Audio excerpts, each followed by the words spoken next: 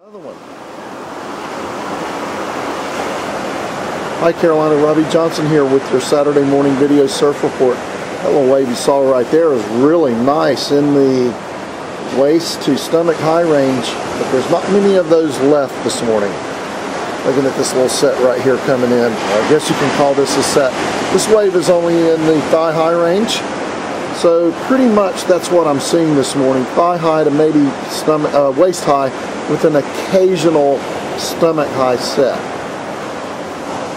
Swells died off quite a bit. We got a light wind out of the north at about three to five miles per hour. Look at this little wave right here. This wave right here is a little bigger. Now again, I'm up on the condo. This is a nice little left right here in front of the condo and in the really thigh to stomach high range, but not as consistent as it was yesterday for sure. Let's see if we can zoom in down this guy way down the beach. Now he's not going to catch that. That's about thigh high too. So let's just stick with that. Thigh to waist high, clean right now. North-northwest winds at 3 to 5 miles per hour. Looks like a beautiful day. So get out there, Carolina. And if you want to do something fun tonight up on the north end at Freeman Park, or it starts this afternoon actually, a lot of live music.